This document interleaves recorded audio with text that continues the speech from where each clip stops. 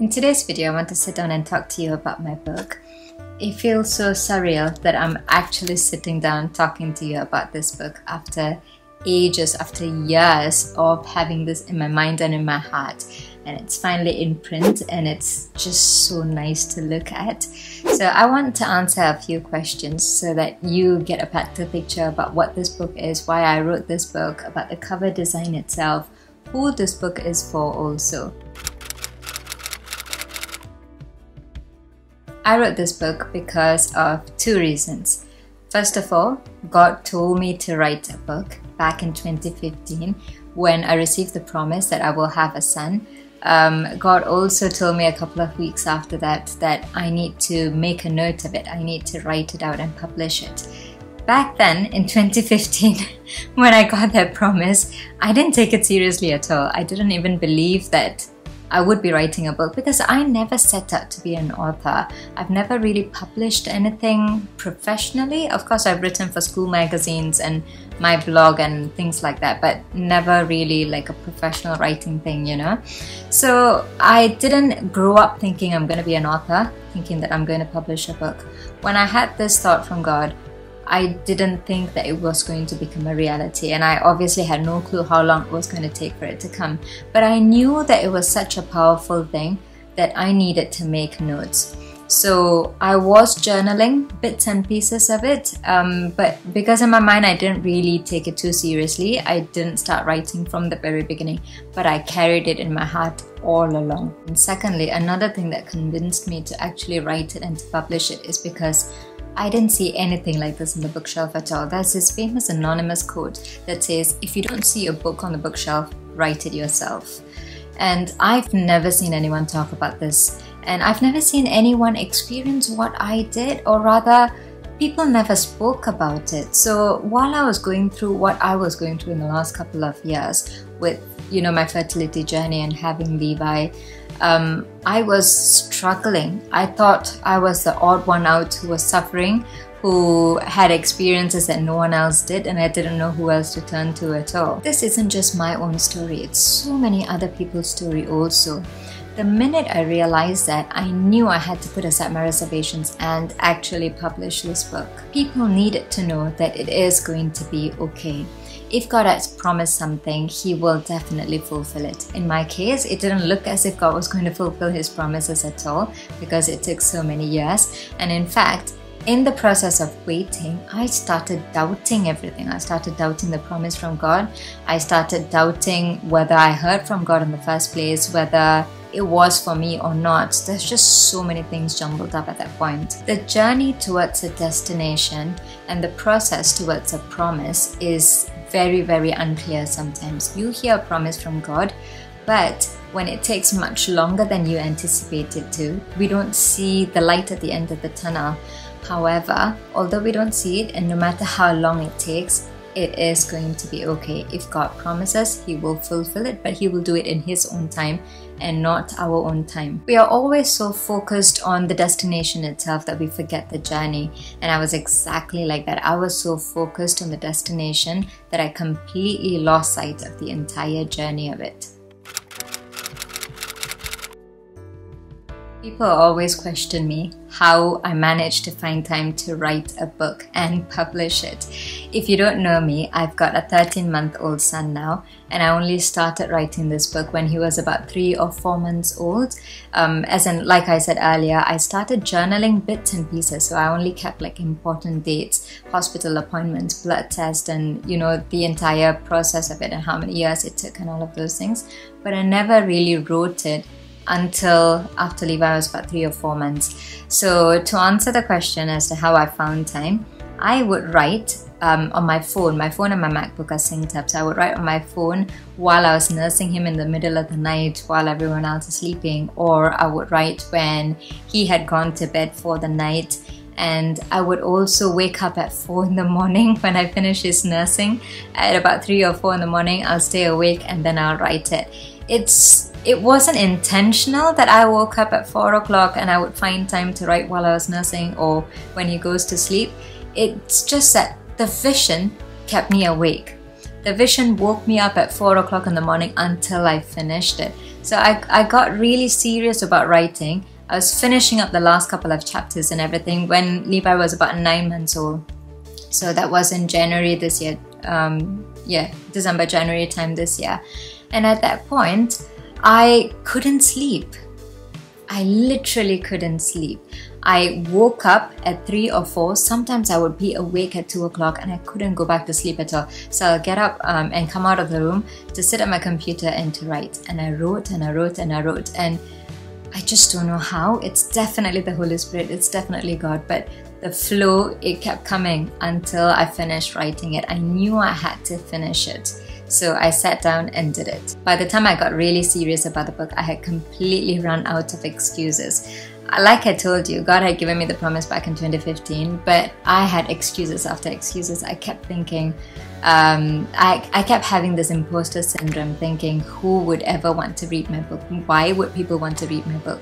Why will people want to know my story? But when I realized that um, it is important and the story needs to go out and it needs to encourage people. It will encourage people. I knew I had to do it. So by the time I had run out of excuses and I made time, we all have time. We all have the same 24 hours that everyone else has as well. It's a matter of prioritizing the right thing. At the time I knew I had to write and finish the book, I prioritized writing over everything else. So YouTube videos took a back seat and my personal relaxation like watching movies or you know, going out and sleeping definitely took a back seat. I had to sacrifice sleep and watching movies and making YouTube videos so that I could make time to write for this because um, Levi was non negotiable. My time for him was non negotiable at all, so everything else became a negotiable event. This book is for anyone and everyone who has had a promise from God but it has not been fulfilled as yet. This book is to encourage them and to give them hope that they are on the right track. Focus on the process, not with the intention of finding fault, but with the hope of knowing that God is in control of everything. During my process of waiting, God was clearly in the background playing a major part of everything, but I just didn't see it. While I was writing the book, is when I realized when I tried to take my own initiative and do things out of my own effort, I realized that God was in it throughout you know but at that time i didn't see it at all so this book is to encourage you and to give you hope that it is going to be okay even if your promise is not fulfilled it will be okay it's also for people who have been questioning god and who have been doubting themselves whether they heard from god right or not from the very beginning my story is about having Levi, a child and a life that I didn't anticipate or imagine to be at all. Your story could be completely different. It could be about maybe your career. You could have um, received a promise about your future, your partner, your work, uh, maybe even ministries, so many things, moving countries, just so many things that I can think of and probably that I can't even think of. The journey towards a promise is not always the easiest, which is what makes us value it even more so when we eventually receive the promise. This book is especially for everyone who needs to know that they are not alone on their journey towards their destination, um, which is a promise eventually. You are never alone in your journey. God is always with you, and there are so many other people in the same boat as well. It's just that people don't talk about it. I knew I had to be open and be real because God has called me to write this book and to share my story with the others to encourage them uh, who are in the same boat also. Lakshman designed this cover for me only because um, we were running out of time. I went to my publisher and I told him that I wanted this book ASAP, and publishers normally take about six months, but my publisher was willing to process it for me within six weeks, and he actually delivered uh, upon his promise. In order to make that deadline, we had to kind of, you know, help him with the cover design and everything. I just wanted to put in random pictures, like, you know, Pinterest board stuff and everything, and send it to my designer. Uh, not my designer, to my publisher, so that their designer can do it. But then Lakshman went a step ahead and designed the cover for me. So I told him what I wanted and he did it for me.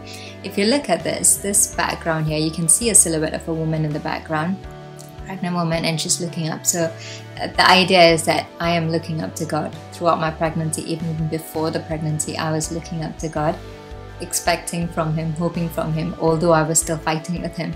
So that's looking up to God, and this is me from my maternity photo shoot while I was pregnant. The background here, you can see a faint rainbow.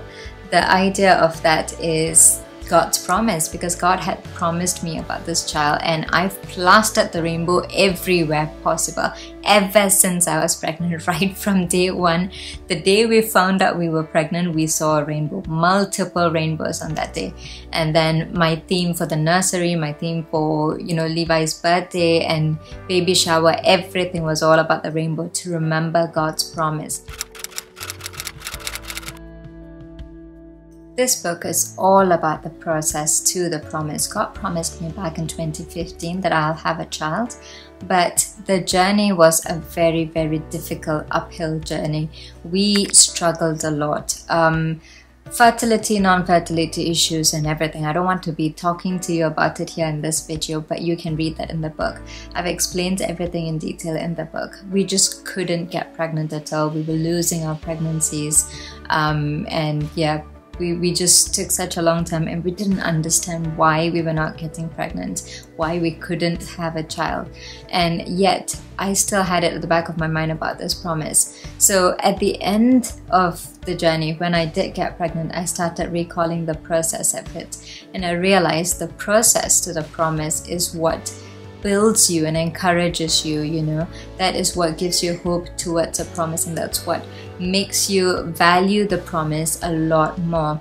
And the process that I went through is what a standard person would actually do, but not many people talk about it at all. So while I was struggling and suffering in the background in silence, I thought that I had done something wrong. I thought that I was the only one struggling like this and no one else was, you know. I had so much doubts and I had uh, so much concerns and I was literally battling with God.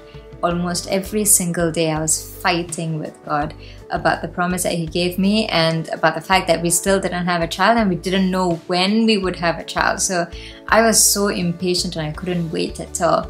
But I realized that the promise is a different thing altogether. The process and the promise goes hand in hand. There is no such thing as receiving the promise without the process. The sooner you accept the process, the easier it will be for you to receive your promise. I didn't realize this combination at all while I was struggling for that many years in between. But for future references, I know what to do now.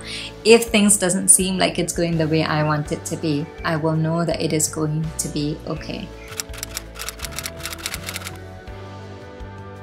My book is available on Amazon and Waterstones online. I will leave links to it down below so that you can click on it and check it out yourself. And if you're in the UK, you can buy it from me directly. Just drop me a line and I will get back to you on how you can purchase it from me. My prayer is this book will reach the hands of the people who desperately need it. I pray that you will partner with me to get it to as many people as possible, and you who are reading it will find it encouraging and motivating also. And I really hope that God speaks to you um, in your times of difficulty and in your series of doubts. Help me in spreading the word to everyone. Share this video with your friends and family. Buy a book for yourself or your friends and your family, anyone whom you think would benefit from it. Like I said, my story is one of um, having Levi, but anyone else's story could be about different things. But it is all about the process to the promise. And know that it is going to be okay, even if things don't work out according to your plan, according to your timing and your estimation, it's going to be okay.